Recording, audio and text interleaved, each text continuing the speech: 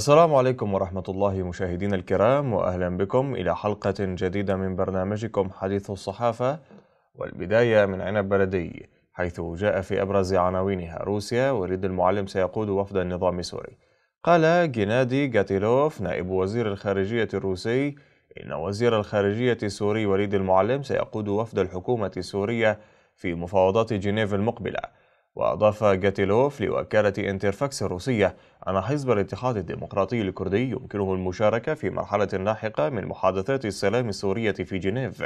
صحيفة الوطن المقربة من النظام قالت إن دمشق سلمت أسماء وفدها المفاوض على أن يرأسه الجعفري ويشرف عليه نائب وزير الخارجية والمغتربين فيصل المقداد بعضوية عدد من كبار المحامين وكبار موظفي وزارة الخارجية. وبالانتقال إلى عنوان آخر ناشطو دارية يطالبون بفك الحصار ويدعمون الهيئة العليا للمفاوضات. وفي التفاصيل نظم المكتب الأعلامي في المجلس المحلي لمدينة دارية بالغوطة الشرقية مظاهرة لرفع رفع فيها المشاركون لافتات تطالب بفك الحصار عن مدينتهم. وشارك في الوقفة عدد من أعضاء المجلس المحلي وناشطون من مؤسسات أخرى إضافة إلى عناصر من الجيش الحر في المدينة بحسب حسام عياش أحد المشاركين. عياش أكد لعنب بلدي أن المظاهرة تهدف بشكل أساسي لدعم الهيئة العليا للتفاوض وحثها على الثبات على أهداف الثورة وثوابتها إضافة إلى إظهار وضع المدينة في ظل الحصار المستمر منذ أربع سنوات وحتى اليوم. واستهدف الطيران المروحي المدينة ب 24 برميلا متفجرا منذ صباح اليوم وحتى لحظة إعداد التقرير وفق المجلس المحلي لمدينة دارية الأمر الذي أكده مراسل عن بلدي. بدوره قال المركز الأعلامي للمدينة إن صواريخ أرض أرض استهدفت المدينة ما خلف دمارا كبيرا مضيفا أن قوات الأسد حاولت التقدم على المحور الغربي الواقع بين دارية والمعظمية ولكنها فشلت.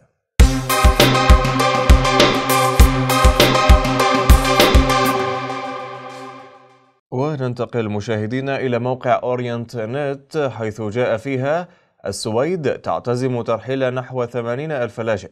في خطوة تؤكد تغير سياسة الأبواب المفتوحة التي انتهجتها بداية أزمة اللجوء. تعتزم السويد طرد نحو 80 ألف لاجئ وصلوا إلى البلاد خلال العام الماضي بعد أن تم رفض طلبات اللجوء التي تقدموا بها. وقال وزير الداخلية أندريس إيجمان أمس الأربعاء في تصريحات لصحيفة داجينز إندستري المالية والتلفزيون العام SVT إن بلاده بصدد طرد 60 ألفا مشيرا إلى أن العدد قد يرتفع إلى 80 ألف شخص.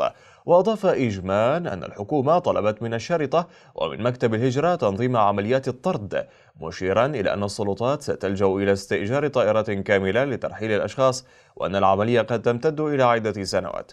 هذا وتقدم 163 ألف لاجئ عام 2015 بطلب لجوء إلى السويد التي يصل عدد سكانها إلى نحو 9 ملايين نسمة.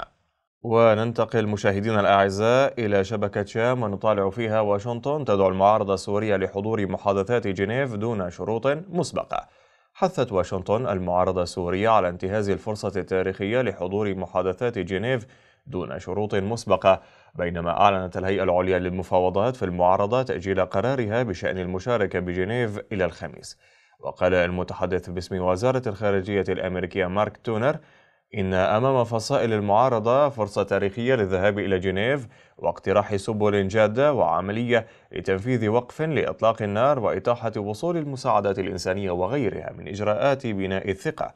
مضيفا وينبغي أن يفعلوا ذلك دون شروط مسبقة. وفي المقابل قال المنسق العام للهيئة العليا للمفاوضات رياض حجاب إن الجدل الدائر حول الدعوات الشخصية للمشاركة في محادثات جنيف ينبع من الاستجابة لمحاولات النظام وحلفائه عرقلة العملية السياسية. وننتقل مشاهدينا إلى عنوان آخر في شبكة شام أيضا. على الرغم من توجيه دعوة له لحضور مفاوضات جنيف جهاد مقدسي لن يحضر. كتب جهاد مقدسي الناطق الأسبق باسم وزارة الخارجية في النظام عبر صفحته على مواقع التواصل الاجتماعي فيسبوك. إنه تلقى دعوة لحضور محادثات جنيف لكنه لن يشارك في جولتها الأولى. ونشر مقدسي ما بدأ أنه خطاب موجه للمبعوث الخاص للأمم المتحدة لسوريا ستيفان دي ميستورا شكره فيها على الدعوة وقال إنه لن يحضر وأضاف عملية تشكيل وفود المعارضة السورية شابه الكثير من الإشكالات بين مختلف أطياف المعارضة السورية وتجاذبات على صعيد الدول المعنية في الأزمة السورية. الأمر الذي أدى في نهاية المطاف إلى تشكيل سريع لوفود لا تحظى حتى اللحظة بالانسجام المرجو في ضوء هذا الاستحقاق المهم المصيري.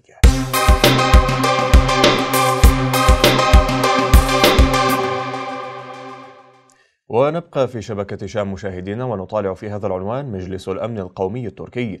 لا مكان لنظام الأسد وحلفائه من التنظيمات الإرهابية في مستقبل سوريا.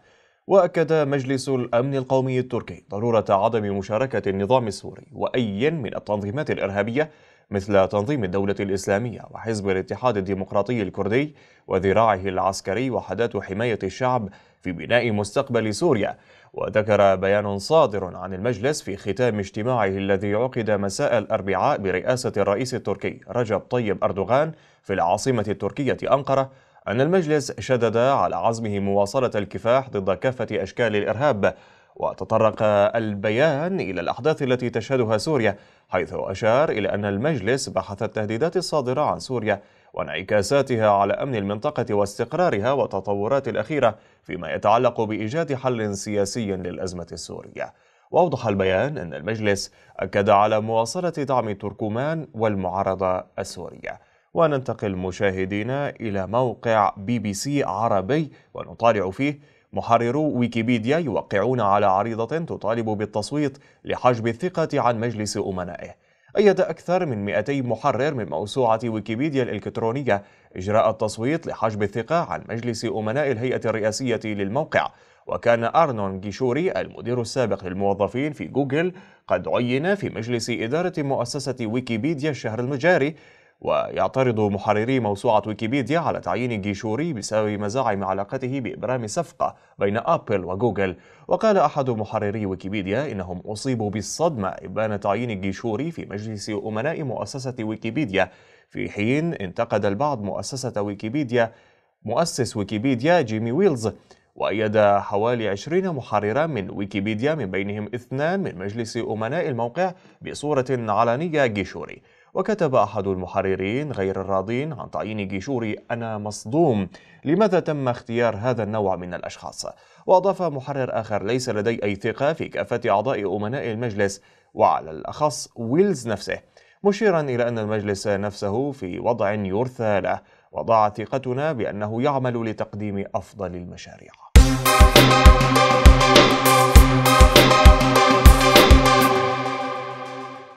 وبالانتقال مشاهدينا إلى موقع جريدة الحياة نطالع في عناوينه علاج الكسور بشريحة إلكترونية. إنها تقنية إلكترونية مبتكرة من شأنها رفع فعالية علاجات كسور العظام. إذ طور باحثون ألمان جهازا إلكترونيا صغيرا يزرع في العظام ليقدم معلومات عن مدى استجابتها لعلاج الكسور فيها. عندما تتعرض العظام للكسر يحتاج التئامها إلى بعض الوقت. كما أن هناك كسورا لا تشفى في شكل كامل. على رغم عمليات الجراحة ويراقب الجهاز الألماني بدقة مراحل علاج الكسور والتئامها وفي تصريحات إعلامية متنوعة أوضح الدكتور كلاوس زايده من مستشفى الحوادث في مدينة هامبورغ الألمانية طريقة عمل تلك التقنية وبين أنها تعمل بشكل بسيط نسبيا إذ يجري تثبيت شرائح مجهرية فوق لوحة إلكترونية صغيرة مزودة بسلك هوائي ثم تدخل إلى العظم فترسل إشارات مستمرة عن مراحل التئام الكسر. وبالانتقال مشاهدينا إلى صحيفة الشرق نطالع في أبرز عناوينها أطفال بلا طفولة. حذر خبراء في الرياضة من الآثار السلبية لإدمان الأطفال والمراهقين الألعاب الإلكترونية وطالبوا بإعادة الاهتمام بالرياضة داخل الأحياء وفي المدارس. وبحسب هؤلاء يقود إدمان الألعاب الإلكترونية إلى العزلة عن المجتمع. وحتى عن بقية أفراد الأسرة وعدم الاستمتاع بالطفولة علاوة على الإصابة ببعض الأمراض ومن بينها السمنة.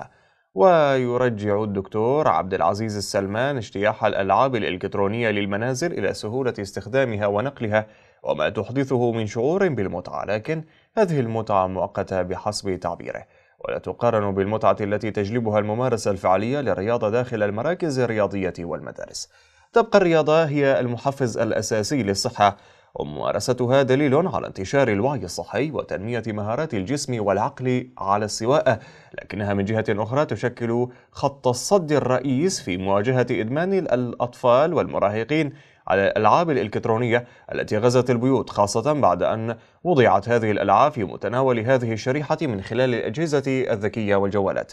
المهتمون بالرياضة دقوا جرس الإنذار من هذا الزحف المخيف داخل الأسرة مشددين على أهمية تنشيط الرياضة كمنشط أول للتغلب على حالة الكسل والخمول وربما الفشل الدراسي أو السقوط في براثن الإدمان لدرجة أنهم يطالبون بزيادة الاهتمام بالحصص الرياضية وإعطائها أولوية قصوى.